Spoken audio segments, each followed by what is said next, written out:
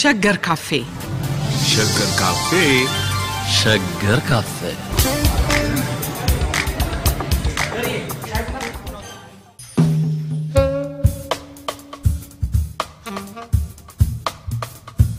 በሸገር ካፌ በታሪክ ላይ የተጀመረው ውይይት በዚህ ሳምንትም ቀጥሏል። እንግዶቻችን የታሪክ መምህራንና ተመራማሪዎቹ ዶክተር ተካልኝ ወልደ ማርያምና አቶ ስሜን ሀያሌው ናቸው። ደጋግመው ስለመጡ ፈቃደኛ ስለሆኑ አሁንም በድጋሚ አመሰግናለሁ።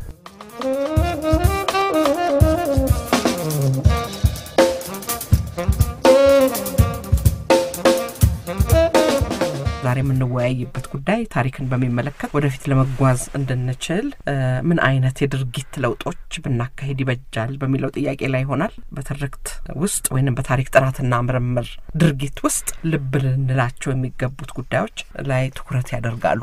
ፈረሱ የሚሆው ሜዳው የሚሆው እናመሰግናለን።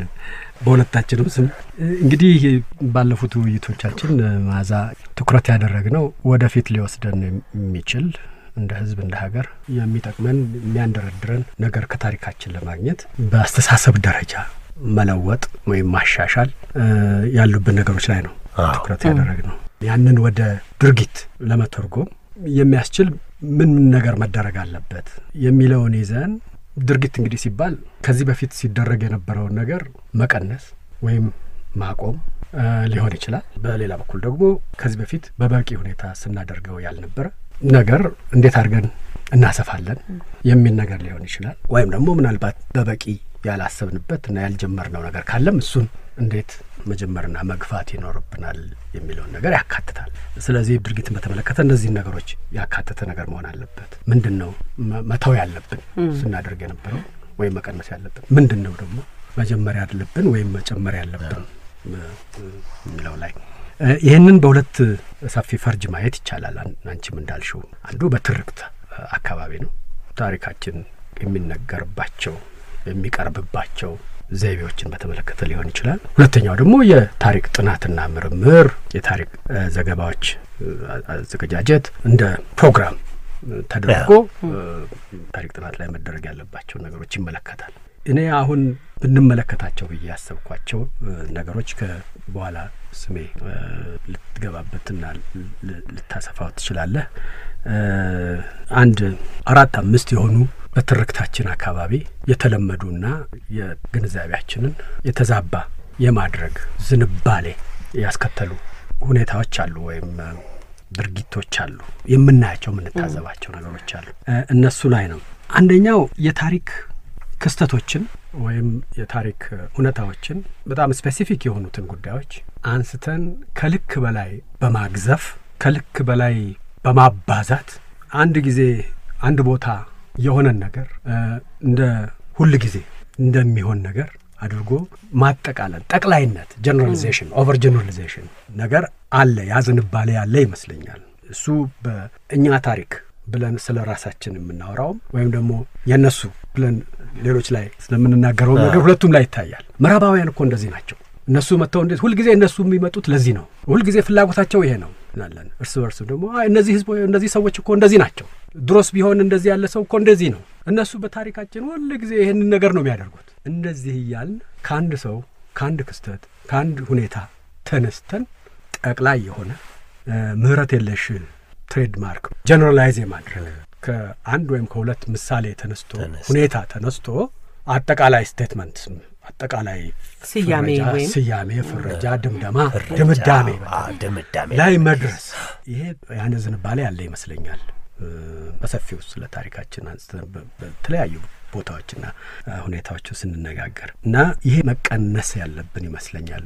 በተቻለ መጠን ስለ አንድ event፣ ስለ አንድ ክስተት፣ ስለ አንድ ሁኔታ፣ ስለ አንድ ታሪካዊ ክስተት ስናወራ ያ ነገር ሁሌ በምን ያህል frequency በምን ያህል ድግግሞሽ ታይቷል በታሪካችን ውስጥ ወይም ምን ሲሆን ነው አንድ አጠቃላይ ድምዳሜ ምሳሌ የሚሆነው የሚለውን ነገር ምሳሌ እየሰጣችሁበት ቢሆን ጥሩ በጣም እውነት ነው። ነገሩን በደንብ ለመረዳት እንድንችል አዎ እንግዲህ ብዙ ምሳሌዎች ማንሳት ይቻላል። over generalization ን በተመለከተ ቅድም ያልኩት ለምሳሌ ምዕራባውያን ብለን ወይም የውጭ ሰዎች ብለን እነሱ የሚያዩን እንደዚህ ነው፣ እኛ እንደዚህ ነው የሚለውን ታሪካችን የጦርነት ታሪክ ነው የሚለው በጣም interesting ገላጭ ይመስላል። ታሪካችን ጦርነቶች አሉበት ውስጡ ማለትና ታሪካችን ያው የጦርነት ታሪክ ነው ብሎ መጠቅለል የታሪካችን አይነተኛ መገለጫ ጦርነት ጦርነት የሚል ድምዳሜ ማለት ነው። ድምዳሜ ማለት ነው። በኋላ ህዝቡም አነሳዋለሁ። ጦረኛ ነው። አዎ ማለት ነው። አዎ እዛ ወደዛ የመጠቅለል ጉዳይ ነው። ጦርነት ለምን ያህል ጊዜ ተደርጓል? የእያንዳንዱ ጦርነትና ግጭት የተለየ ሁኔታ ምንድን ነው? እንደዚህ የምንለው ነገር ውስጥ ገብቶ መተንተን አንድ ነገር ነው። ነገር ግን ጦርነት ነው በቃ ሁልጊዜ የኛ ነገር ጦርነት ነው ብሎ መነሳት ችግር አለው። ምክንያቱም የኢትዮጵያን ታሪክ በሰፊው በረጅሙ የጊዜ ቀመር ብናየው ብዙ ሺህ ዓመታት የዘለቀ ነው። በዛ ውስጥ እንግዲህ የጦርነቶቹን ክስተቶች ብንቆጥራቸው ምናልባት የሚቆጠሩ ሊሆኑ ይችላሉ። የምናውቃቸውን ያው እንግዲህ እና የማናውቃቸውን የአካባቢ local ግጭቶችን ሁሉ ብንጨምር እነኚህ ቢደረደሩ የኢትዮጵያን ታሪክ የጦርነት ታሪክ አያደርጉትም። ኢትዮጵያ ውስጥ ጦርነት ነበረ። ብዙ ጊዜ ጦርነቶቹ ብዙ ችግር ፈጥረዋል። ጦርነቶቹ ደግሞ የሌሎች ችግሮቻችን መገለጫዎች ናቸው ማለት ይሄ ተገቢነት ያለው ነገር ነው። ስለዚህ ጦርነቶችን እንመርምራቸው። በጦርነት አካባቢ በተለይ እርስ በርስ በውስጥ የሚደረጉ ግጭቶችና ከውጭ ወራሪ ጋር የሚደረገው ጦርነት ልዩነታቸው ምንድን ነው? እንደዚህ ብሎ ያንን መመርመር ጥሩ ነው። ነገር ግን ከጦርነት ውጪ በአዘቦቱ ሰው ምን አዘቦቱ የምለው ይሄ ጦርነት በማይደረግበት ጊዜ እሱ ነው እንግዲህ አብዛኛውን ጊዜ የሚገልጸው። ሰው በግጭት ውስጥ ብቻ ውሎ በግጭት ውስጥ አያድርም፣ አይከርምም እና ይሄ አንዱ የ over generalization ምሳሌ ነው። ነገር ግን over generalization እንደውም የጦርነትን ያህል እንኳን frequency ያለውን ነገር ሳያካትት ከትንሽ ነገር አንድ ጊዜ ከሆነ ነገር በአንድ አጋጣሚ በአንድ ስህተት ወይም በአንድ ሰው ጥፋት ወይም በአንድ group አንድ ቦታ ላይ በተደረገ ነገር ወይም በአንድ መሪ ድርጊት ወይም ንግግር ተነስቶ ከዛ ተነስቶ ይሄ መቼስ ሁሌም ይኸው ነው ሁሌም እነሱ እንዲህ ናቸው፣ ሁሌም እኛ እንደዚህ ነን ብለን በራሳችንም ላይ የምናደርገው ነገር ነው።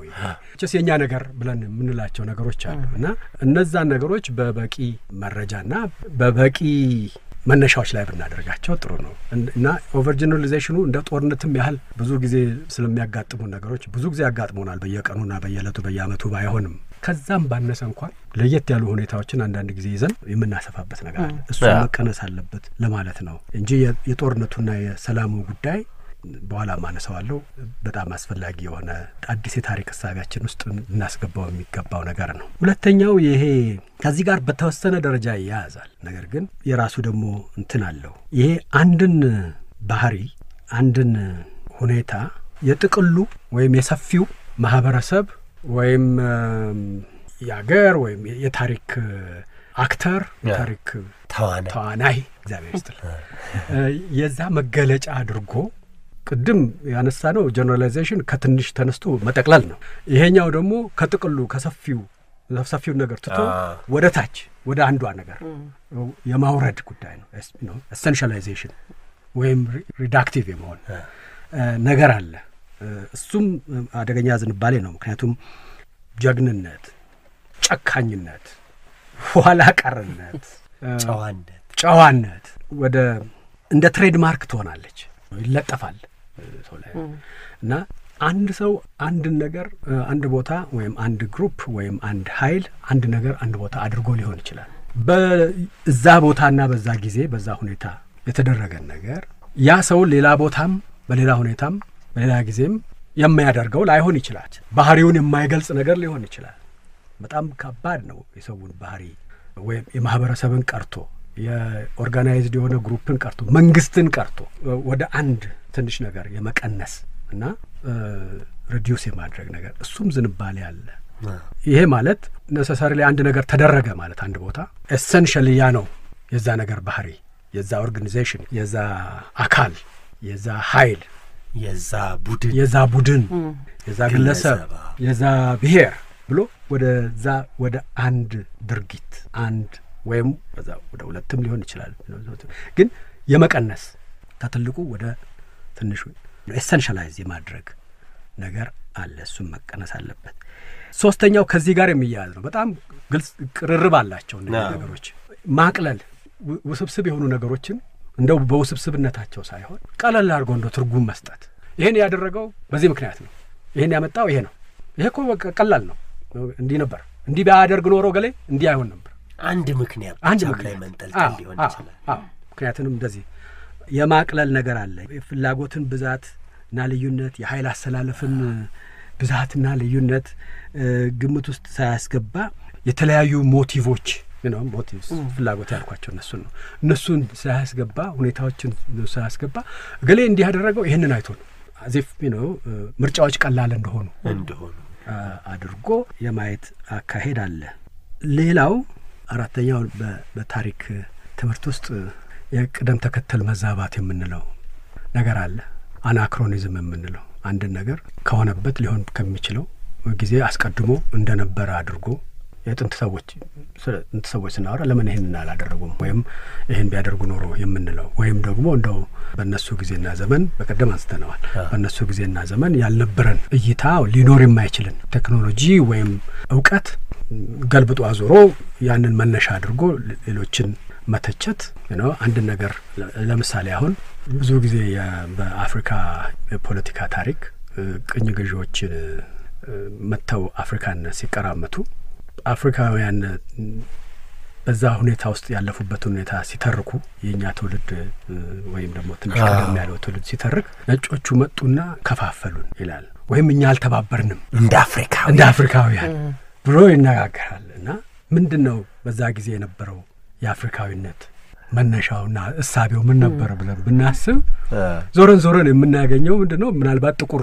ቀለማችን የቆዳ ቀለማችን ጥቁር ከመሆኑ በስተቀር ብዙ የሚያለያዩን የሚያጋጩን፣ እንደውም ከእነሱ ጋር አንዳንዱ እንዲተባበር የሚያስገድዱት ነገሮች ነበሩበት። አፍሪካውያን መሆናችንና አንድነት የሚጠቅመን መሆኑን አብረንም መቆም እንዳለብን እያወቅንና የተገነዘብን የመጣ ነው በቅኝ ግዛትና ከዛን ተከትሎ በመጣው ዘረኝነት ምክንያት ከዛ ተነስተን ነው። ስለዚህ መጀመሪያ አንድ ነበርን፣ እነሱ ከፋፈሉን የምንል ከሆነ ምንድን ነው እያደረግን ያለ ነው?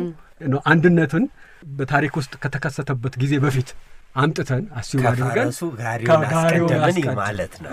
ይህንን የማድረግ ነገር እዚህም ሀገር አለ፣ በዚያም ታሪክ ውስጥ እንደዚሁ አይነት አለ። ይህንን በጥንቃቄ ማየት ያስፈልጋል። ይሄ ትልቅ የግንዛቤ መዛባትን ስለሚያስከትል ይህንንም እንደዚሁ መቀነስ ያለብን ይመስለኛል። ማረም ያስፈልጋል ለማለት ነው።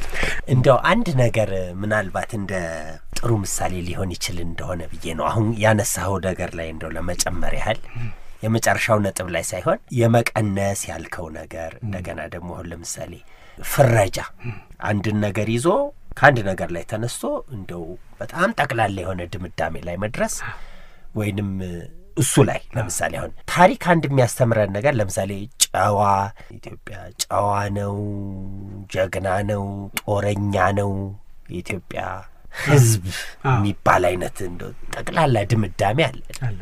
እና ትንሽ ባህላዊ የሆኑ መገለጫዎች ናቸው አይደለ? ታሪክ አንድ የሚያደርግልን ነገር ምንድን ነው? በጊዜ ባህል የሚባለው ነገር ወይንም እሴት ራሱ በጊዜ ተለዋዋጭነት ሊኖረው እንደሚችል ውስብስብነት ሊኖረው እንደሚችል ማሳየት ነው አይደለ? ትልቁ ስራ ነገሮችን በጊዜ ስናስባቸው ነገሮች ቀላል አይደሉም። እንዲህ በቀላሉ ጨዋ፣ ጀግና፣ ክፉ ተብለው ብቻ ሰዎች ሊመደቡ ሊበየኑ ወይንም ህዝብ በአጠቃላይ ወይንም ኢትዮጵያዊነት በአጠቃላይ በዛ ዙሪያ ሊታይ እንደማይችል የሚያሳየን ነገር ሳይሆን አይቀርም አይደለ? የታሪክ ጥናት ያለውን ውስብስብነት አዎ በማሳየት አንጻር። ትክክል ነው ስሜ። ግን አለው ግን አዎ። ግን ታሪክም ደግሞ ታሪክም ደግሞ የእሴቶችን የተወሰኑ እሴቶችን በሂደቱ የተወሰኑ እሴቶችን የመፍጠርና የማጎልበት አስተዋጽኦ አለው። ትክክል። ከታሪክ ሂደት ተነስቶ ታሪካችንን ካሉን እሴቶች ጋር ማያያዝና እሴቶች ሳይለዋወጡ ዘላለም ኖሯል ማለት የተለያየ ነገር። ዘላለሙን መጀመሪያውንም እነኚህ እሴቶች ነበሩ ብሎ ማለት የተለያዩ ጥሩ ልዩነት ነው። አዎ ነገር ግን በኋላ እንደምንመጣበት እንደሚመስለኝ አሉ የኢትዮጵያዊ እሴቶች የሚባሉ አሉ። እነዛ እሴቶች ግን በሰፊው ስናይ ኢትዮጵያን ከዚያ ታሪክ ጋራ ከኢትዮጵያ ታሪክ ጋራ እንዴት እንደሚገናኙ ብቻ ሳይሆን እንዴትም በዛ ታሪክ ምክንያት የዛ ታሪክ ውጤት እና እንደሆኑ at same time አስቻይም እንደሆኑ you know፣ እ፣ እነሱ ውጤት ብቻ አይደሉም። እነኛ እሴቶች at same time ደግሞ የታሪክ ሂደቶቹንም እንደዚሁ አጎልባችና accommodate የሚያደርጉ ናቸው። እንደዚህ አይነት የ dialectical የሆነ ትስስር አለ በእሴቶችና በታሪክ ግን of course ይለወጣሉ። አንዳንዶቹ እሴቶች ደግሞ አሁን በቅርቡ ብዙ ቦታ የምንሰማው የመሸርሸር discourse ውስጥ እንደምንሰማው በእውነትም ይሸረሸራሉ እና ዘርፎር ያንንም መግለጽ አለበት ታሪክ የመሸርሸራቸውን የመለወጣቸውንም ነገር መግለጽ አለበት። ነገር ግን አንዳንድ እንደው ብዙ ጊዜ የለውጥ ተማሪ ስትሆን ታሪክ ማለት የለውጥ ተማሪ መሆን ማለት ነው። የለውጥ ተማሪ ሲሆን አንድ አፍህን ያዝ የሚያደርጉ ነገሮች አሉ። አሁን ልጠቀሙበት የነበረ ግን ልጠቀሙበት ነው። እንግዲህ ተጠንቀቁ። ዘመን ተሻጋሪ የሚል ቃል አሁን classic የሚለውን መሰለኝ ለመተርጎም የጥበብ ሰዎች ናቸው። ብዙ ጊዜ ሲጠቀሙባቸው ዘመን ተሻጋሪ ነገሮች አሉ። ዘመን ተሻጋሪ ማለት እንግዲህ በየጊዜውና በየሁኔታው የማይለዋወጥ ሁል ጊዜም ታይቶ በአንድ ሁኔታ ውስጥ ብቻ የማይጠፋ ለማለት ነው። በታሪክ ውስጥ እንዲህ አይነት ነገሮች በጣም አስትን ናቸው፣ ጥቂት ናቸው፣ ካሉም አስቸጋሪ ናቸው። ነገር ግን ዘለግ ላለ ጊዜ በሆነው ሁኔታ የተፈጠሩ በክምችት በድርጊትና በመስተጋብር ለብዙ ጊዜ ድግግሞሽ ሂደት እየተፈጠሩ እየጎለበቱ የመጡ እና በኋላ ነዋሪ እሴቶች ልንላቸው የምንችላቸው ነገሮች አሉ። እንደው እና ይሄ በጣም ትክክለኛ ኢንተርቬንሽን ነው አሁን ያንተ ያደረግከው። ነገሩ እንደው ለትንሽ ክርክሩን ትንሽ ሳለ እንዲል ነው እንጂ ብዙ ልዩነት ኖሮ አይመስለኝ። ትክክል ነው። በተለይ ደግሞ አሁን ከማመጣው ነጥብ ጋር እያያዘ ዋናው ነጥብ ዋናው በእኛ በትርክታችን ሂደት ውስጥ አሁን really መቀነስ በተቻለ መጠን መቀነስ ከመቀነስ ነው ቢቆምማ ደስ ይለኛል። ማድረግ ያለብን ነገር በቅርቡ በተለይ እየተስፋፋ የመጣው ይሄ ታሪክን መሰረት ያደረገ የብሽሽቅ discourse ነው። ጉድለት ፍለጋና ወይም ደግሞ የማጀገንም የማንኳሰስም በሁለቱም ረገድ አንዱን ከልክ በላይ ማጉዘፍ፣ ሌላውን ደግሞ ከልክ በላይ እንትን ማለት ማጠልሸት ማጠልሸት። ይሄ ደግሞ የእንትኖችም ይጨምራል። የታሪክ actor ኦችን ብቻ አይደለም፣ የታሪክ ክስተቶችንም event ኦቹን ማለት ነው እና የታሪክ ጸሐፊዎችንም ታሪክ አጥኚዎችንም እንደዚሁ እና አጠቃላይ የታሪክ ዘገባዎችንም ጭምር አንዳንድ ጊዜ ቅድም እንዳልነው የመጠቅለል ጉዳይ ብቻ ሳይሆን የማናናቅና የማጠልሸት በሌላ በኩል ደግሞ እንደው በቃ ከልክ በላይ እንትን ማለት ፍረጃውም እንደዛው ነው። ገሌና ይሄ ህዝብ ወይም እንደዚህ ጀግኖች ታማኝ እዚህ ሌላው አንዱ እንዲህ አድራጊ እዚህ የሚለው ነገር አንዱ አንዱ ታሪክ ከላሽ በራዥ ወይም ደግሞ አንዳንዱ ፈረንጅ ዝም ብሎ እንትን ያለው ፈረንጅን የሚከተል ነው። ዝም ብሎ ፈረንጅ አምላኩ ፈረንጅ አምላኩ እንደዚህ እኛ የተጠቂነት ትርክት አጥቂ የአጥቂነት ትርክት ነው።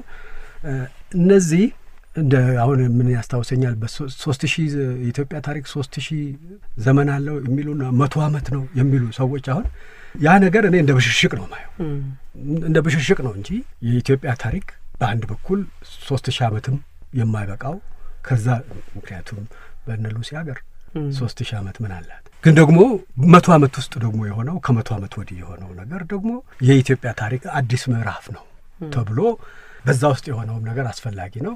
ከዛ ወዲህ ያለውን ነገር ስንነጋገር የምንነጋገረው ስለ ኢትዮጵያ ስለ አዲሲቱ ኢትዮጵያ ወይም ስለ ዘመናዊት ኢትዮጵያ ወይም ስለ ኢትዮጵያን በዚህ መልኳ ብለን መነጋገር የምንችልበት ሁኔታ አይፈቅድም ነበር። ያ ብሽሽቅ ስለሆነ ብሽሽቅ ዋናው ጭብጡንና ፍሬ ነገሩን ያደበዝዘዋል። ምክንያታዊ የሆነ ንግግር አይቻልም። እንኳን ክርክር ቀርቶ ንግግርም አይቻልም። መበሻሸቅ ነው። ከዛ እንግዲህ መሰዳደብ ነው እና ይሄ ትልቅ ልዩነት አለ በመተቸትና መከራከር በአንድ ወገን መበሻሸቅና መሰዳደብ ያ ነገር ነው እና ይሄ የኢትዮጵያ ታሪክ አለ። ይሄ የዚህ ታሪክ ነው። ይሄ የእነሱ ታሪክ ነው። ይሄ እንደዚህ የሚለው እነዚህ የሚሰሩት የዚህ የደብተራ ስብስብ ነው የምናምን እንትን ነው እንደዚህ የሚለው ምንም ጠብ የሚል ነገር የሌለው አይነት በሚያሳዝን ሁኔታ አሁን እየሰፋና እየገዘፈ የመጣ የመወራወር ትርክት መቀነስ አለበት። እንግዲህ እዚህ ውስጥ ፍሬ ነገሮች የሉም ማለት አይደለም። እነዚህን ነገሮች የሚያስነሱ እነዚህን ነገሮች የሚያስብሉ መነሻዎች የሉም ማለት አይደለም። አሁን አንድ ሰው አንዱ ሌላው ለምሳሌ የኢትዮጵያ ታሪክ ስለ ወንዶች ብቻ ነው ይባላልና ሴቶችን አያካትትም ይባላል። እዛ ውስጥ ምን የተወሰነ እውነት አለ እውነት አለ። ይ ምን ያደርጋል የወንዶች ብቻ ታሪክ ነው እሱን አይደለም ብሎ ማለት ደግሞ ሌላ ጉዳይ ነው እንዴት ነው በምን ምክንያት ነው የሴቶች ሚና የሴቶች አስተዋጽኦ የሴቶች ተሳትፎ በታሪክ ውስጥ በደንብ ጎልቶ ያልወጣው እንዴት አድርጎ ነው ጎልቶ መውጣት ያለበት ምንድን ነው ጠቀሜታው ለሚለው ነገር እንድንነጋገር እድል አይሰጥም። ምክንያቱም ወደ ብሽሽቁ እና ወደ መሸርደዱና ወደ ማጣጣሉ ይበልጥ ስለሚወስደን ማለት ነው። ይህን ብለን ስናበቃ ግን ምክንያቱ ያለ ምክንያት ነው ይሄ ነገር የሚባለው እያልን አይደለም። ምክንያቱን እንድናውቀው የምክንያቱን ግዝፈት መጠኑን ነው ያደረሰ ያለውን ጉዳት እንዴት ሊሻሻል እንደሚችል ተነጋግረን ልናረመው በማንችለው አይነት መልክ ይሆናል ብሽሽቅ ውስጥ ስንገባና ስንከርም። አሁን እንደሚመስለኝ እዛ ውስጥ ከሚገባው በላይ ገብተናል፣ ከሚገባው በላይ ከርመናል እና ይሄንን እንደ ሕዝብ እንደ ሀገር በተወሰነ ደረጃ ልናርመው ልናስተካክለው የሚገባ ነገር ነው ባይነኝ። ድርጊት ስሜ አስሮ እዛው እንዳያስቀረን። አዎ አዎ፣ እውነት ነው በጣም ምክንያቱም እዛው ምሬት ውስጥ ያስቀረናል። ሁል ጊዜ በማንኛውም ልንተቸው በምንፈልገው ነገር ውስጥ ያለን አንድ በጎ ነገሮችን እንዳናይ ያደርገናል። ጠቅላይ ነው ወይ rejectionist ነው totally። እና ይህን ውይይት በጀመርንበት የ empathy የልበሰፊነት አስተሳሰብ መንፈስ የሚረብሽ ነገር ነው። እንደዚህ አይነት ብሽሽቅና ስድድብ ባለበት ሁኔታ ውስጥ እስቲ ተደማመጡ ማለት አስቸጋሪ ነገር ነው። እስቲ እንደማመጥ፣ እስቲ ምንድን ነው የሚባለው እዛ ሰፈር? ለምንድን ነው ያን ሰው ያንን ሰፈር ያንን አካል ያንን ወገን እንዲህ የሚያደርገው ነገር ምንድን ነው ብሎ ጆሮ እንድንሰጥ አያስችለንም። ስለዚህ ያ ነው አንዱ ጎራ ለይተው አዎ ለመደማመጥ ሳይሆን አዎ ለመፈራረጅ አዎ የሚነጋገሩም ለማለት አይቻልም። ንግግር መበሻሸቅ ቃል የሚወራወሩ ሰዎች መድረክ ከመሆን የታሪክን አመለካከትና አስተሳሰብ ማዳን የሚቻለው እነዚህ የተለያዩ ጎራ ውስጥ ያሉ ሰዎች ወይንም እዛ ጎራ ውስጥ ነን ብለው የሚያስቡ ሰዎች እንዴት አድርገው አንድ ላይ መጥተው እየተደማመጡ የእርስ በራሳቸውን አርጊውመንት ክርክራቸውን አመክንዮአቸውን እንዲያዳብሩና በእውነት የሚነጋገሩበት ሁል ጊዜ እየተስማሙ አይደለም፣ actually ሳይስማሙ ንግግራቸውን የሚቀጥሉበት ሁኔታ እንዴት መፍጠር ይቻላል ነው። ምክንያቱም የየራሳቸው የየራሳቸው የሆነ perspective ይዘው ነው አይደለም የሚመጡት እነዚህ ሰዎች እና perspective ኣቸው ደግሞ legitimate ነው፣ በጣም ምክንያታዊ ነው። ቅድም ተካልኝ እንዳልከው ነው ምክንያታዊ ነው። የሚነሱበት የመከራከሪያ ነጥብ ምን የማይረባና ውዳቂ ነው መባል አይቻልም። በጣም legitimate የሆነ perspective ያላቸው ናቸው። እነዚህ legitimate የሆኑ perspective ኦች ግን እንዴት አድርገን ምልአት ያለው የኢትዮጵያ ታሪክን ለመጻፍ ሊያስችሉን ይችላሉ። ሁለቱም ክርክር ውስጥ ገብተው ማለት ነው። የሁለቱም ደግሞ legitimacy እውቅና ተሰጥቶት እና ደግሞ እንደ እኩዮች መነጋገር መቻልም ጥሩ ነገር እኮ ነው። አንዳቸውም በተለያየ ጎራ ያሉ የኢትዮጵያ ታሪክን ለመተንተን የሚሞክሩ ሰዎች ያኛውን ክፍል እንደ እኩያቸው አይ- አይመለከቱም። አዎ። በጣም dismissive ናቸው። በጣም ያጣጥላሉ። ብዙ ሰዎች ደግሞ ሁለቱን አንድ ላይ አምጥተው አንዳንድ እንደዋል አይደለም ለማገናኘት የሚሞክሩ ሰዎች የሉም ማለታችን አይደለም። ግን ስለ ዝንባሌዎቹ ጠቅለል ባለ መልኩ እየተነጋገርን ስለሆነ መሰለኝ ይሄ ውይይትንና ከውይይቱ የምናገኘውን ትልቅ ነገር የተለያዩ perspectives ሲገናኙ የሚገኘውን ይሄ common ground ለማግኘት እንዳንችል የሚያውከን ከባቢ ነው። አሁን ያለው። አሁን ያለው ሁኔታ እ፣ ያንን ነው እኔ ቆየ ደግሞ አዎ ከረመ ሰፋም እንጂ ገዘፈ። አሁንማ ጩኸቱ በርክቶ ጥንቃቄ ማድረግ ያስፈልጋል። በሚዲያ ሰው ሲናገር እንደው እንጂ እሱ ይሻላል። ይሄ ነው እና ብዙ መልኮች አሉት። በጣም መጠንቀቅ ያስፈልጋል። በተወሰነ ደረጃ ደግሞ ይሄ የሚያያዘው ታሪክን እንደ እና የታሪክ ሁኔታዎችን እንደ መኩሪያና መኩራሪያ በሌላው ወይም ደግሞ በግልባጩ እንደ ማፈሪያና መሸማቀቂያ የምናደርገው ነገር መስሎ ስለሚታይ ነው። እና የእኛማ ታሪክ የሚያኮራ ነው ብሎ ህገ መንግስት የተሰጠኝ መብቴ ነው፣ በታሪክ መኩራት አለብኝ ቢል ምንም ችግር የለውም። ግን እንግዲህ ከሙያ perspective ስታዩ ታሪክ የሚያኮራ ሊሆን ይችላል። ታሪክ ውስጥ ብዙ የሚያኮሩ ነገሮች ይፈጠራሉ። ግን በዛው ልክ ደግሞ ታሪክ ውስጥ የሚያሳዝኑ፣ የሚጸጽቱ ምንም አድራጊዎቹ ባይኖሩና ስላደረጉት ነገር የጸጸቱ ባይሆንም እንደ ህዝብ ይህ ባይሆን ኖሮ ይሄ ባይደረግ ኖሮ ብለን እንትን የምንላቸው ነገሮች አሉ። ሁሉንም ሰው እንትን የሚለው ስለ እነዚህ ግን ለመነጋገር አንዱ የፉከራና የቀረርቶ አንዱ ደግሞ እንደው በቃ የሚያፍር የሚሸማቀቅ የሚሆንበትን አይነት ሁኔታ የፈጠረ ከባቢ ውስጥ አይቻልም እና አንዱ አገር ገንቢ፣ አንዱ አገር አጥፊ፣ አንዱ አገር አገር ሟች፣ አንዱ አገር ሻጭ፣ አንዱ ጀግና መስዋዕት የሆነ አንዱ ከሀዲ ሻጭ፣ እንደዚህ አይነት ነገር ስለ ድርጊቶቹና ስለ ክንዋኔዎቹ ከባቢ ሁኔታዎች እንዳንረዳና ከዛ የምንወስደውን ትምህርት እንዳንማር እና አዎ ወደፊት ስንሄድ ስንቅ እንዳይሆነን ያደርጉናል። እና እዚህ ላይ ትልቅ ጉድለት ያለ ይመስለኛል እና ይህንን ጉድለታችንን የምናረምበት የምናስተካክልበት ሙከራ ቢደረግ ጥሩ ነው ብዬ አስባለሁ። አሁን እነዚህ እንግዲህ አላስፈላጊ የሆኑ ስህተቶች ወይም አብዝተን የምናደርጋቸው ነገሮች ናቸው መቆም ያለባቸው ወይ መቀነስ ያለባቸው። ግን በዛው ልክ ደግሞ ትርክቶቻችን ላይ በበቂ ሁኔታ ጎልብተው እና ሰፍተው ጎላ ብለው ቢታዩ ጠቀሜታ አላቸው የምንላቸው ነገሮች አሉ። እነዚህ ውስጥ አንዱ ለእኔ የሚታየኝ ምናልባትም ዋነኛው ታሪካችንን ያው አሁን ሁላችንም familiar ላይ የምናውቀውን ታሪካችንም ጭምር የነገስታቱን፣ የመንግስትን፣ የሃይማኖት ተቋማቱን፣ የወታደሮቹን የእነዚህን ሚና ላይ ተመስርቶ ሲተረክ የቆየውን ታሪክ እሱንም ጭምር ምናልባት በህዝባዊ እይታ ከህዝቡ ወገን ሆኖ ሳይሆን ከህዝቡ እይታ ከህዝቡ አንጻር የምናይበት እና ህዝቡ በማንኛውም የታሪክ ክስተት ውስጥ የተሳተፈበትን ወይም ሳይሳተፍ የቀረበትን ወይም ደግሞ የህዝቡን የራሱን ድርጊት የሚያሳይ ምን ማለት ነው? ፈረንጆቹ popular agency የሚሉት ነገር ነው። የህዝቡን የህዝቡ ኤጀንሲ ማለት የህዝብ ሚና የህዝብ የታሪኩ በታሪክ ውስጥ ሂደት ውስጥ ለተደረጉ ነገሮች የህዝቡ ሚና ብቻ ሳይሆን በዛ ጉዳይ ውስጥ የህዝቡን በባለቤትነት አድርገን እንዴት ነው የምናቀርበው?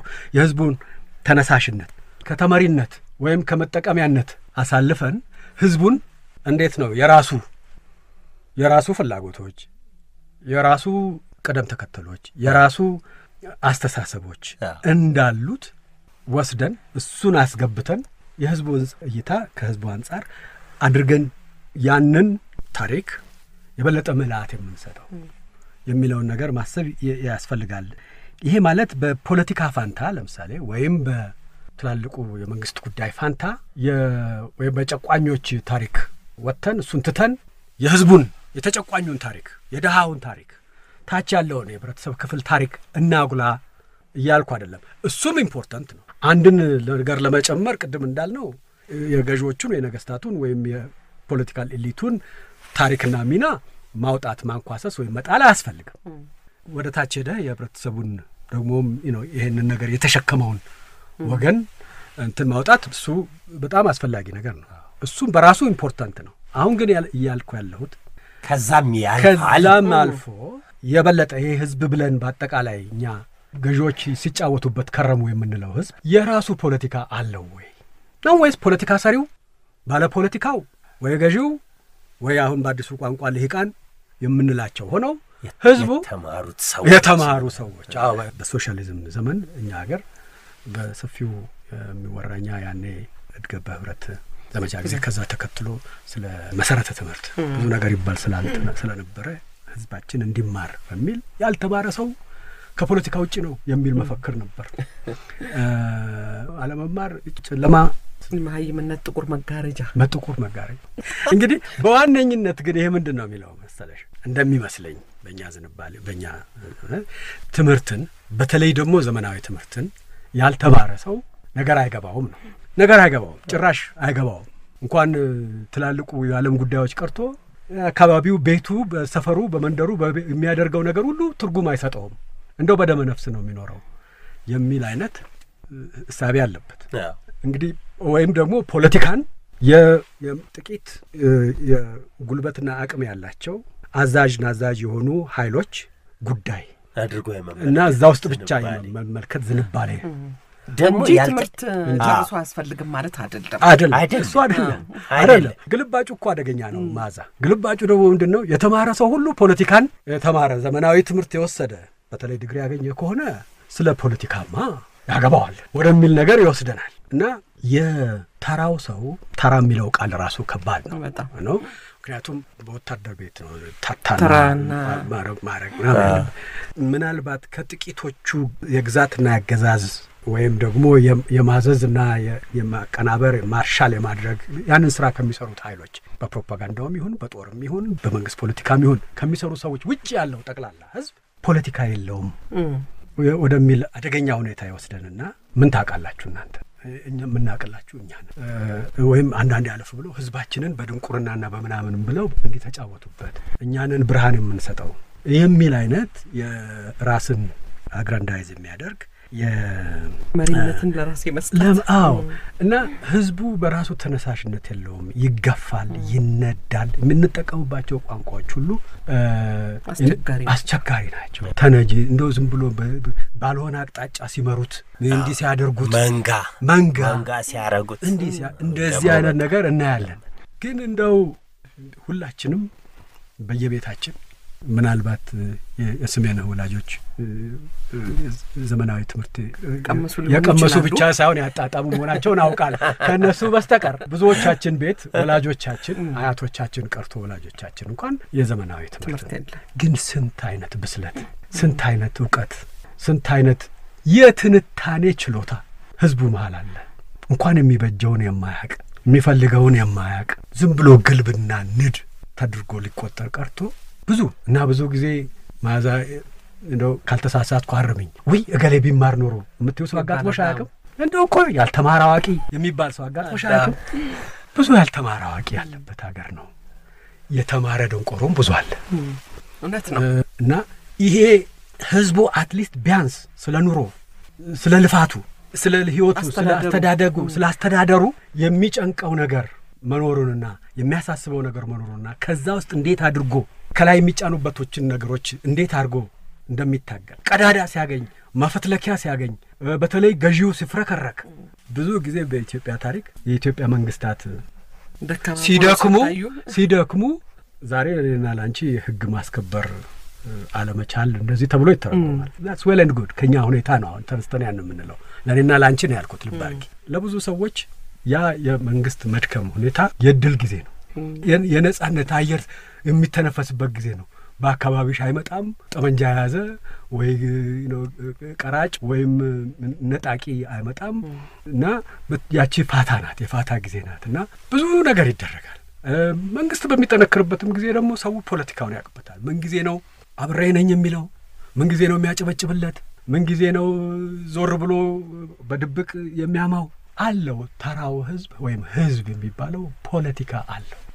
ችግሩ ያንን ፖለቲካ ጉዳይ ብሎ የሚያጠና እና የሚተነትን እሱ ደግሞ የታሪካችን አይነተኛ ክፍል አዎ፣ አይነተኛው አዎ ለማድረግ የመጣሩ ነገር ይሄን ያህል አዎ ብዙ ጊዜ በዛው ይሆናል። በዛው እንደውም የሚባለው ህዝባችን በቃ ይህ ሁሉ በደልና ጫና ሲደርስበት ቻይ ነው፣ አይተነፍስም። ቻይ ነው የሚተነፍስበት ብዙ መንገድ አለው። ብዙ በዘፈኑ አለ ወይም እንደዚህና አንድ አንድ ጊዜ ብቻ ሲበዛበትና ከልክ በላይ ሲሆን ያምጻል ብለን ሁለቱን ጫፍ ነው ወይ ያመፁን ጫፍ ወይ የቻይነቱን ልክ የለሽነት ነው ምናምን። በመሀሉ ብዙ ፖለቲካ አለው ብዙ ፖለቲካ አለው እና ከህዝብ አንጻር ታሪክን እንደገና ማየት ብንሞክር ብዙ ሙከራዎች አሉ። በነገራችን ላይ ይሄ ዛሬ የሚጀመር ነገር ነው መጀመር አለበት እያልኩ ነው። አይደለም ብዙ የሞከሩና የጀመሩ ብዙ የተሰሩ ስራዎችም አሉ በአግባቡ ህዝብ ያላያቸውን እና የበለጠ መጎልበት መጎልበት አለበት መጎልበት አለበት። አሁን ስለ አድዋ እንደምታውቁት አድዋ አድዋ ላይ የተሳተፉ ብዙ ሰዎች መሪዎቹ ብቻ አይደሉም፣ ወይም ወታደሮቹ ብቻ አይደሉም። በጣም ብዙ ሰው አለ። በጣም ብዙ ሰው በተለያየ ደረጃ ተሳትፏል። ከተሳትፎም ውጭ ሆኖ የማስቻሉን ይህንን ተዋጊውን ኃይል ተሸክሞ አደራጅቶ ረድቶ ቀልቦ ያሰለፈ ኃይል አለ። በተለያየ አይነት ደረጃ ተሳትፏል ሰው። ለእነዛ ሰዎች ያ ጦርነትና ያ ግጭት ምንድን ነበር ትርጉሙ ብሎ ቢጠየቅ የሚገኘው መልስ እንዳልኩት በቀደም የአድዋን ታሪክ እና የጀግንነት ታሪክ የሚቀንስ ሳይሆን አድዋ እንዴት የሁሉም ኢትዮጵያዊ በዛች ቦታ ገብተው በጦርነቱ ያልተሳተፉትንም ጭምር ያካተተ የሁላችንም ውጤት ነው የሚለውን ነገር ያመጣል እና ታሪኩን ያጎለብተዋል፣ ያሰፋዋል እንጂ አይቀንሰውም፣ አያደበዝሰውም። ስለዚህ የህዝብ እይታ መጨመር necessarily የ elite ኡን የአመራሩን ወይም ለዛ ጉዳይ ለአንድ task የተመደበውን ኃይል ሚና አይቀንሰውም። popular agency public popular agency ውን ማስፋት ማለት ታሪካችንን ምልአት ይሰጠዋል እንጂ አያኮስሰውም በምንም አይነት መልክና ይሄ ማለት ደግሞ የበለጠ እንድታብራራው ነው የህዝብ አስተዋጽኦ፣ ሚና፣ ተነሳሽነት፣ ኃላፊነት እያልክ አሁን ስለ ፖፑላር ኤጀንሲ የጠቀስከው በጣም ጥሩ ነገር ነው። ህዝብን ንጹህ የማድረግ ስራም አይደለም ይሄ ስራ አይደለም። ሁል ጊዜ እንደው ተጎጂ ቅድም እንዳልከው እኮ ነው። በሁለት ጽንፎች ነው። ወይ በጣም ቻይ ይደረጋል ወይ በጣም ጀግና ይደረጋል ያልከው። በመሀል ያለ ውስብስብ ታሪክ አለ። እና ሁል ጊዜ የህዝብን ይሄ የህዝብን አንጻር ወይንም እይታ ማጉላት ማለት ህዝቡ ሁል ጊዜ ደግ ነው፣ ሩህሩህ ነው፣ የዋህ ነው ምናምን የሚልን አስተሳሰብ ብቻ ማጎልበትም ብቻ አይደለም አይደለ? ያለውን ውስብስብ የሆነ የህዝብ ታሪክን ለማካተት መሞከርም ነው አይደለ። ሌላው extreme ይሄኛው ስለሆነ ነው እውነት ነው ህዝብ እውነት ነው። ሁል ጊዜ ደግ ነው የሚል አይነት ሌላ አስተሳሰብ extreme ነው ሌላ extreme ነው እሱ ታሪካዊም የማንጻት- አይደለም የማንጻት እና ወይም ደግሞ ሌላውን የመኮነን ነገር አለ። የመኮንን ነገር አለ ቅድም እንዳልነው እሱ የማጮሁ ጉዳይ ነው። የመበሻሸቁ ነገር ጋር ስንደርስ ነው። አሁን ለምሳሌ በተደጋጋሚ የሚባል ነገር አለ። ህዝቡን ከገዢዎቹ መለየት ያስፈልጋል የሚባል ነገር አለ። እውነት ነው። በተወሰነ ደረጃ የገዢዎቹ ህልም ፍላጎትና እንቅስቃሴ እና የህዝቡ ህልም ፍላጎትና እንቅስቃሴ ይለያያል፣ የተለያየ ሊሆን ይችላል። ይሄ ማለት በተወሰነ ደረጃ ቅድም ካለው ነገር ጋር የሚያያዝ ነገር ነው። ለምሳሌ ገዢዎቹን ከህዝቡ ጋር መደመር አደጋ አለው። ምክንያቱም ገዢዎቹ መሀል የሚደረገው ነገር በአጭር ቋንቋ የፖለቲካ የስልጣን ትግልና ሽሚያ ነው። ምንም የሚያጠያይቅ ነገር የለውም። የፖለቲካ ጉዳዮች የስልጣን ጉዳዮች ናቸው። ዞሮ ዞሮ ስልጣኑ ለምን መጠቀሚያ ይሆናል ሌላ ጉዳይ ነው። አዎ የፖለቲሽያንስና በቀደመው ጊዜ ደግሞ በአጠቃላይ የገዢ መደቦች እንበለው በእኔ ዘመን ቋንቋ የገዢው መደብ የውስጥ እንትን የስልጣን ጉዳዮች ናቸው። ያንን ከህዝቡ ፍላጎትና ከህዝቡ orientation መለየት አለመቻል አደጋ የሚያመጣው ምንድን ነው? ምን ታደርጋለህ? ትግራይን ከአጼ ዮሐንስ ጋር ታያይዛለህ። ሸዋን ከምኒልክ ጋር ታያይዛለህ። ጎጃምን ከተክለ ሃይማኖት ጋር ታያይዛለህ። ጅማን ከአባ ጅፋር ጋር ታያይዛለህ። ከፋን ከጋኪ ሸሮቾ ጋር ታያይዛለህ ወይም ሀረርን ከአሚር አብዱላሂ ጋር ታያይዛለህ። ወላይታን ከጦና ጋር ታያይዝ ስታበቃ በእነኚህ ሰዎችና እነሱን በሚከተሉ ኃይሎች መሀል የሚደረገውን የስልጣን መናቆር የህዝቡ መናቆር አድርገህ ካስቀመጥከው ትልቅ አደጋ አለው እና ለኢትዮጵያዊ አብሮነት ፍለጋ የሚረዳ የህዝቡን ኦሪየንቴሽንና የህዝቡን ጉዳዮች የህዝቡን ጭንቀቶች፣ የህዝቡን አስተሳሰቦች፣ የህዝቡን እንቅስቃሴዎች በኋላ የምንመጣበት የህዝቡን እንቅስቃሴና መስተጋብር የምታይበትን ነገር ካልጨመርክበት አደገኛ ነው። ይሄ ማለት እነኚህ ሰዎች ከአካባቢያቸው ሰዎች ጋር immediate በሆነ መልክ የሚያያይዛቸው ነገር የለም፣ mobilize አላደረጉም ማለት አይደለም። እና ይሄ ትልቅ ልዩነት ነው መደረግ ያለበት። አዘዋይስ ፖለቲካ እውነቱን ለመናገር የወዳጅነት ስራ አይደለም። ፖለቲካኛ ሁሉ ሸፍጠኛና ተንኮለኛ ነው እያልኩ አይደለም። ነገር ግን ትብብር የለበትም ትብብ- ማለት አይደለም። ግን የመደብ ነገር ካነሳ የህዝቡን ደግሞ አንድ ላይ አያይዞ ማየት አስፈላጊ አይደለም። ህዝቡን በተለያየ ማህበረሰብ የተከፋፈለውን እንደ አንድ አድርጎ ምንድን ነው የሚያያይዘው የሚለውን እሱን እሱ እንደውም የመጣበት ሁለተኛው እንትን ማድረግ ያለብን ነገር መጨመር ያለብን ነገር የምለው እሱን ነው። ነገር ግን ደግሞ ህዝብ በምንለውም ውስጥ ፈርዝ ክፍፍሎች አሉ። የተወሰነ የተወሰነ ደረጃ ይከፋፈላል። እና አሁን ከህዝቡ አንጻር ሆነች ስታየው ስል ከአንድ መደብ ወይም ከገበሬው አንጻር ወይም ከአርብቶ አደሩ አንጻር ወይም ከተናቀውና ከተገፋው በየቦታው በየቦታው ስም የሚሰጠው የተለያዩ ስም ከሚሰጠው የህብረተሰብ ክፍል አንጻር እንደዚህ እዩ ማለት አይደለም። ያ ሁሉ አለበት። ውስጡም ብዙ ብዙ ክፍልፍሎች አሉ። ነገር ግን በአንጻራዊነት ከገዢው መደብና ከአፐር ኤሽለን ትን ጋራ የሚለየው ነገር አለ። እንደው ለእይታ ያህል የዚህን አንጻር አይተን የምንተነትነው ግን ብዙ ነገር ሊሆን ይችላል። ኢኮኖሚውን መሆን ይችላል። ማህበራዊን ጉዳይ ልንተነትን እንችላለን። የባህል ጉዳዮችን ልናይበት እንችላለን። የፖለቲካንም ጉዳዮች ልናይበት እንችላለን። አሁን የሰጠዋቸው ምሳሌዎች ህዝቡ ፖለቲካውን እንዴት ያየዋል ነው። ሲደግፍ ሲያጨበጭብ ህዝባችን አለው ነው። ሲደግፍና ሲያጨበጭብ ህዝባችን እውነት ወዶና አፍቅሮ ነው ወይስ okay እዚህ ጋር ማጨብጨብና ደጋፊ መምሰል ያስፈልጋል፣ አለዛ የሚከተለኝ ይሄ ነገር ይኖራል ብሎ ነው የሚያደርገው። ይህ ስለ ዛሬው አይደለም እየተነጋገርኩ ያለሁት። ይህንን በዛሬው ሁኔታ ተንትኖና እንትን ብሎ መስማት የሚፈልግ ይችላል። በታሪክ ግንም ውስጥ እንደዚሁ በታሪክ በረጅሙ ታሪካችን ውስጥ የህዝቡን እና የገዢዎቹን አቋምና ዝንባሌና ፍላጎት ትንሽ የእይታ መነጽራችንን ከህዝቡ አንጻር ስናየው የሚሰጠን picture necessarily አንድ አይደለም። ያችን ለማለት ነው እና ህዝቡ ፖለቲካን ያውቅበታል። ፖለቲከኞችንም በተወሰነ ደረጃ ይረዳቸዋል። ቅድም ካልከው ነገር ይሄ በጣም ጥሩ ግንኙነት አንዳንድ ተሻጋሪ ነው ያለው። እንግዲህ እርግጠኛ አይደለንም ቋንቋውን መጠቀም እንዳለብን፣ ግን ቀጣይነት ያላቸው ዘመንን አልፈው የሚታዩ አንዳንድ ባህሪያት ሊኖሩ ይችላሉ ማለት ነው። በገዢው መደብ ባልከውም ስልጣን በያዙ ሰዎች፣ በመንግስት ደረጃ እንደገና ደግሞ በህዝብም ደረጃ ተመሳሳይ የሆኑ ባህሪያት በተለያዩ ጊዜ ሊጥ በተለያየ historical time በታሪክ ጊዜ የሚለው ነገር በጣም አስፈላጊ ነው።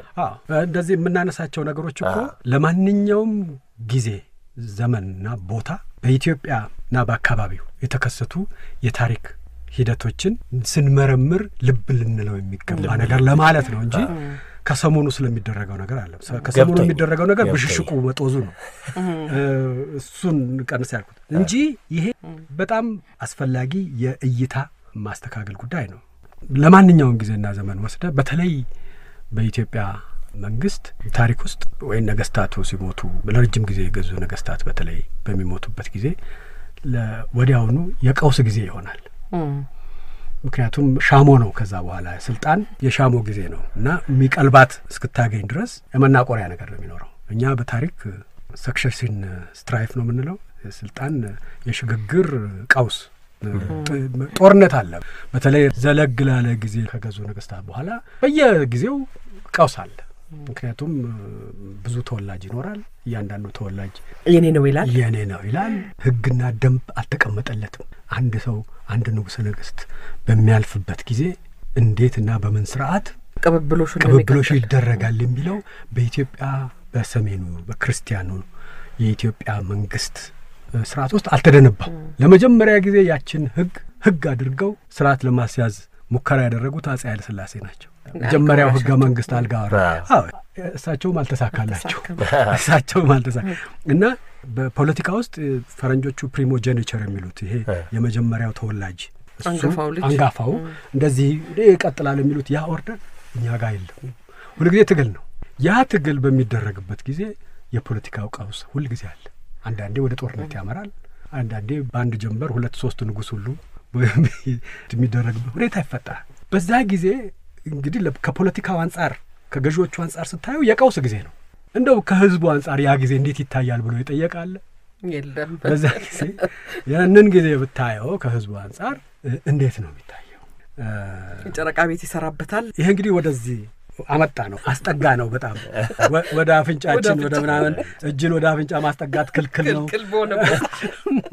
ይህንን የህዝቡን ጭንቀት እኔም ስሜንህም በተወሰነ ደረጃ ሙከራችን የኢትዮጵያን ታሪክ በተለይ የቅርብ ጊዜውን የኢትዮጵያ ታሪክ ከህዝቡ እይታ ከህዝቡ አንጻር የመመልከት ነው።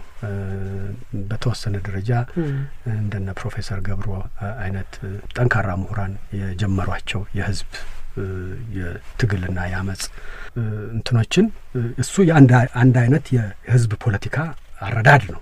እኛ ደግሞ የምንሞክረው ሰፋ ያለ ምናልባት በፍሪኮንሲውም በብዛቱም አመፁም እንኳን በጣም ብዙ ነው።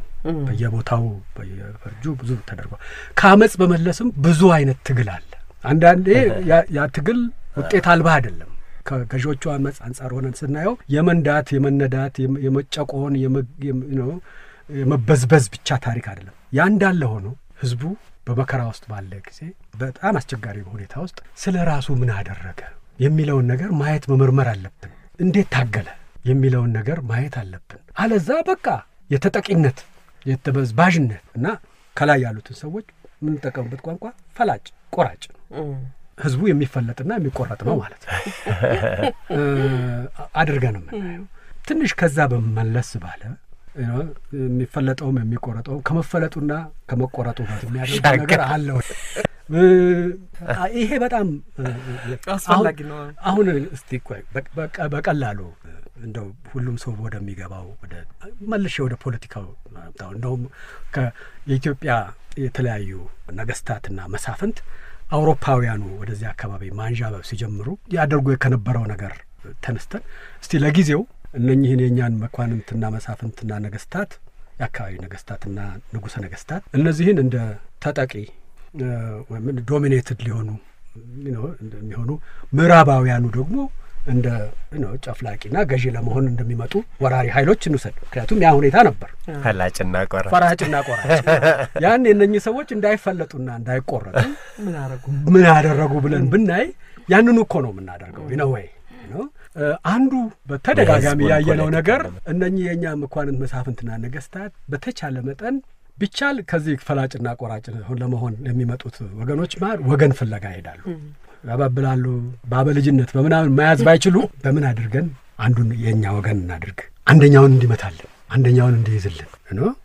አጼ ምኒልክ እኮ ከፈረንሳይና ከእንግሊዝ አጼ ምኒልክ ብቻ አይደሉም። ከምጽዋ አካባቢ ናይቦች ጀምሮ እስከ ቅርብ ጊዜ ድረስ ያሉ የእኛ ገዢዎችና አስተዳዳሪዎች ሲጻጻፉ በተቻለ መጠን እነሱ የራሳቸውን እንደ ደካማ አቅም እንደሌለው ኖ የእነሱን እንትን ምናምን እንደሚከተል እናንተን ስልጣኔ እንፈልጋለን፣ እኛ ድሆች ነን፣ አቅም የለንም፣ እንደው ግን እየመጡ እንደዚህ ያስቸግሩናል፣ ቀሳውስቱ እንዲህ ያስቸግሩናል የላካችኋቸው እነኚህ ገሌ እንደዚህ አይነት ባካችሁን ይላሉ። ወይም ዞር ይሉና ደግሞ በዚህ በኩል እንግሊዞቹ መጥተው እንዲህ አሉን፣ እኛ ግን ያመንነው እናንተን ነው ለፈረንሳዮቹ ሲጽፉ ወይ ስለ ፈረንሳዩ ለማን ያማሉ ወይ ለራሻው ወይ ለጀርመኑ አንዱን ለአንዱ ጋር እየተናገሩ ቢቻል እነሱ እርስ በርስ እዛው ተቆላልፈው አገር ላይ ጥቃት እንዳይደርስ እነሱ ላይ ጥቃት እንዳይደርስ ይሞክራሉ። ይሄ ፖለቲካ አይደለም? ለምንድን ነው ህዝቡ ጋር ሲመጣ ይሄ ፖለቲካ የማይሆነው? ፖለቲካ ህዝቡ ጋር ህዝቡም እንደዚሁ አይነት ፖለቲካ አለው። ህዝቡ አቤቱታ ይዞ ሲመጣ አንድ ቦታ ላይ በደል ሲደርስበት ይዞ ሲመጣ ማን ጋር እንሂድ ብሎ ነው የሚመጣው። የማን ቢሮ ራስ ገሌ ጋር ደጃዝማች ገሌ ጋር ከሄድን ማን ጃንሆይ ጋር ያቀርበናል? ማን ነው የእኛ ወገን ብለን ልናቀርበው የምንችለው? okay ማን ነው ከማን የሚጣላው? ማን ነው የማን ባላንጣ የሆነው? ያችን ይመረምራል፣ ያውቃል፣ ይመክራል። strategize አድርጎ ነው ለአቤቱታ እንኳን ሲመጣ ዝም ብሎ ተነስቶ ወረቀት ይዞ ወይ ለመጮህ አይመጣም። ማጋ ይጮኋል፣ ምንጊዜ ይጮኋል፣ ማንን ማን ጋር ማሳጣት ይቻላል፣ ማን ጋር ቢሄድ ፍሬ የለውም ይሄ ነገር የሚለውን ነገር ብዙ አንስቶ እንትን ብሎ ይሄዳል። እና እኔና ስሜነ እነዚህን ነገሮች እናይና የህዝቡን አቤቱታ እንደ ጩኸትና ሮሮ ብቻ ሳይሆን እንደ ፖለቲካ ፖለቲካ ያለው እንቅስቃሴ ነው እና ይሄን ለማየት እንሞክራለን በእኛ እንደውም ብዙ ሰርተሃል አቤቱታ ላይ በጣም አዎ፣ እሱ ነው እንደውም ይሄንን የሰራ አዎ። ለጋስነት ነው አዋቂ ሰው ነው የሚናገረው ብዬ ነው። እግዚአብሔር ይስጥልን መዓዛ። ግን ብዙ የተሰራበትና ብዙ የተባለበት ጉዳይ ነው። እና በኢትዮጵያ ታሪክ ጥናት ውስጥ እኔና ስሜነህ ይሄን ነገር የጀመርነው ማለት ድፍረት እንዳይመስልብኝ፣ ወደዚህ ጉዳይ ግን የሰውን ትኩረት ለመሳብ ጥረት እናደርጋለን። ምክንያቱም እዛ ውስጥ የሚገኝ ብዙ ጠቀሜታ እውነት ነው። አንድ ጥያቄ ልጠይቅህ። ስለ ሰክሰሽኑ ስታወራ ነበር። ለምሳሌ በሰሜን ኢትዮጵያ በነገስታቱ መካከል አንዱ ሌላውን ሊተካ ሲሞከር አዎ። ወይ አንድኛው ንጉስ ሲያርፍ ሌላ እንዴት ይመጣል የሚለውን ነገር አዎ። አንስተሃል። በሰሜን ኢትዮጵያ በዛ ጊዜ ሰው የሚያገኘው አንዳንድ የትንፈሳ ጊዜ አለ ምናምን ያልከው ነገር አለ። ስለ ሰሜን ኢትዮጵያው ነው ይሄ። ምናልባት በሌላው የአገሪቱ ክፍል ይህንኑ ነገር ማየት እንችላለን። ተመሳሳይ የሆነ ታሪክ ማየት እንችላለን። ይሄ በምዕራቡ ሁሉም ክፍል ቦታ ሁሉም ቦታ ላይ ሁሉም ቦታ ላይ crisis moment የሚባሉ ሁኔታዎች አሉ። አድማጮቻችን ታሪክን ከህዝብ አንጻር መመልከትና ከህዝብ ባለቤትነትና ተነሳሽነት የማየትን አስፈላጊነት ላይ የተጀመረው ውይይት በዚህ አያበቃም። ሳምንት ዶክተር ተካልኝ ወልደ ማርያም ለዚህ ጥያቄ የሰጡትን መልስ በማስቀደም ይቀጥላል።